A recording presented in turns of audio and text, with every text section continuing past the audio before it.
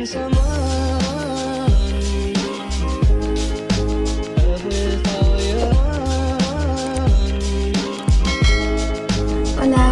hoy te vengo a ayudar a cómo estudiar en casa. Yo sé que esto es imposible, es demasiado, tienes demasiadas distracciones encima. Tienes el internet, tienes a tu perrito, tienes a tu mosca que pasa por ahí todas las mañanas y te viene a joder.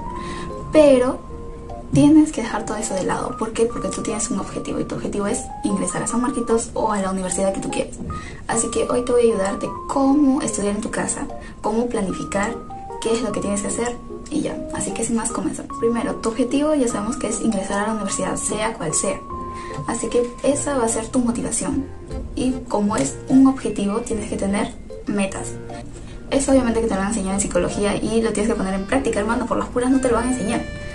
Así que vamos a comenzar. Eso va junto con el punto número 2, que es tener un horario. Un horario preestablecido, ya sea semanal, mensual o diario. Una to-do list de qué hacer el día. Por ejemplo, te pones a decir, tengo que estudiar biología, eh, tengo que estudiar, no sé, química, tengo que estudiar matemática, repasar así.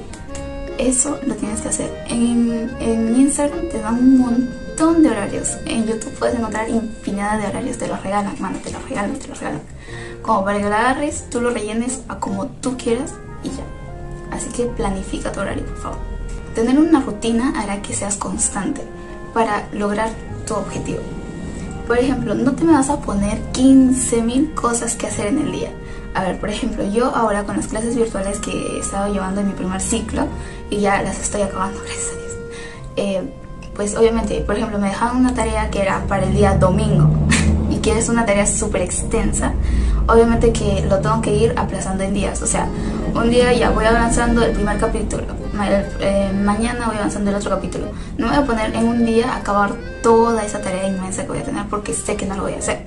Así que, ¿qué voy a hacer? Ir partiendo, partiendo, partiendo.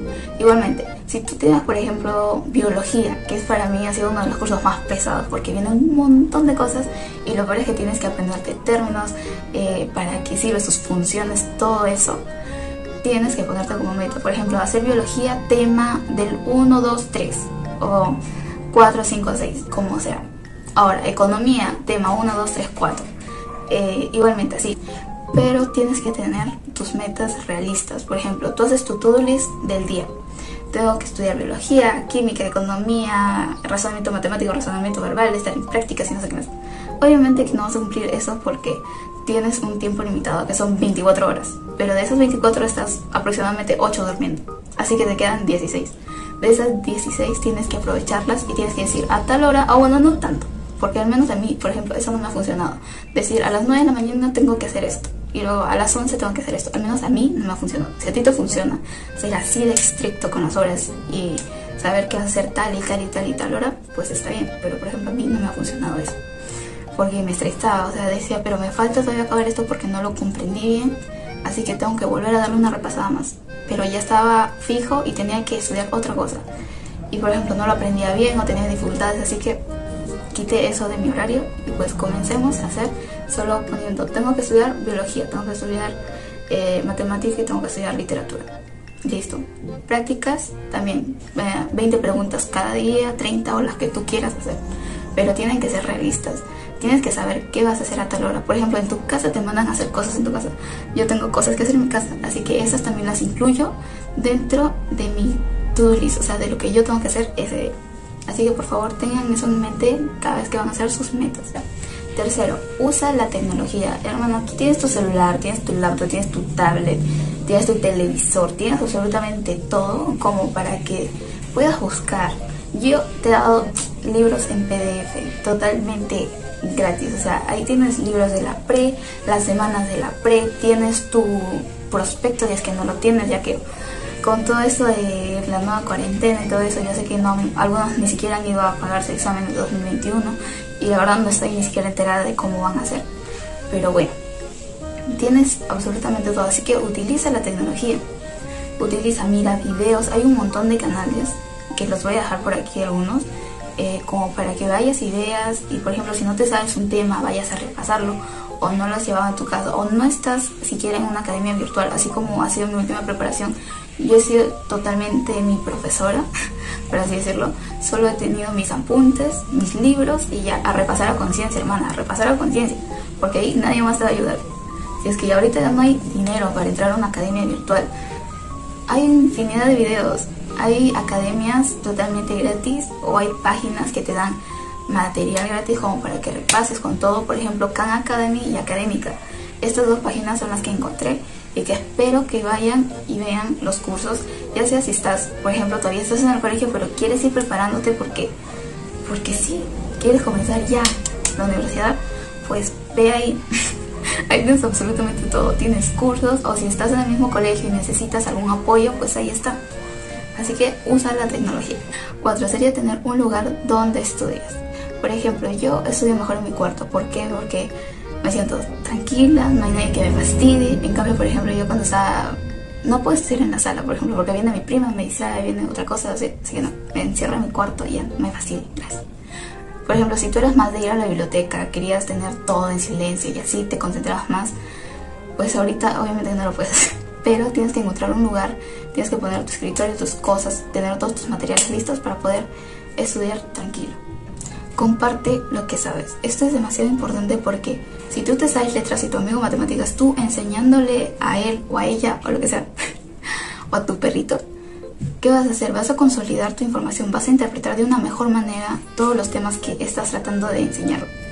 Así que por favor, haz eso. Yo, por ejemplo, te cuento una experiencia de que yo no sabía nada de matemáticas. Estaba a tres meses, a tres meses de dar mi primer examen de admisión. Y yo no sabía nada de matemáticas. Letras me las repasaba así, Letras me las sabía total. Economía, más que nada, y literatura, ustedes saben que yo, economía y literatura, les tengo un amor ahí. Pero la matemática no. Y por ejemplo, en ese tiempo, eh, mi enamorado se dio cuenta de eso. Y me dijo, ¿cómo no vas a saber eso? Porque nosotros practicábamos juntos, estudiamos juntos. Estudiaba, yo le enseñaba letras y así, pues, obviamente que consolidábamos más. Por ejemplo, él no sabía lo que era literatura, no sabía nada de literatura. Salía, sabía ni siquiera lo básico, yo enseñándole, enseñándole, enseñándole. Pero él, cuando me quiso enseñar a mí matemática, se dio cuenta que yo no sabía lo básico. Me dijo, pero ¿cómo no a estudiar matemáticas? Eso es como no sé, con RM nada más voy a ingresar. Pero no, obviamente que no, con eso no, nada más no vas a ingresar. Obviamente que son 15 preguntas, pero igual, hermana, tienes que saberte todo, te lo digo por experiencia. Y bueno, él me ayudó bastante, él me dijo, vámonos que agarramos libros, compramos todo, teoría, ya, paz, paz, paz, paz. Comencé con las fórmulas básicas y practicando. La práctica hace el maestro. Eso nunca me voy a cansar de decírselo. La práctica hace el maestro. Pónganse a practicar, por favor. Bastante, bastante. Eso es lo que me ayudó a mí a levantar un puntaje en la academia de 600 puntos a pasar a uno de examen de admisión a casi 1050. Creo que fue el primer examen que di. Me faltaba tan solo una pregunta más e ingresaba. Fue la primera llorada que di. la primera de muchas. Pero ¿Entienden? O sea, yo ya sabía, yo decía, entonces me faltaba poco nada más para ingresar, pero ha sido porque no he estudiado conciencia. He estudiado conciencia letras, pero he dejado otros aparte. Así que por favor, trate de hacer eso. Júntate con tus amigos, eh, ya sea virtual, ahora de manera virtual, o si tu amigo está aquí nomás, a la esquina, ojo, cerca, júntense para estudiar, compartan información y así se les va a quedar mucho mejor.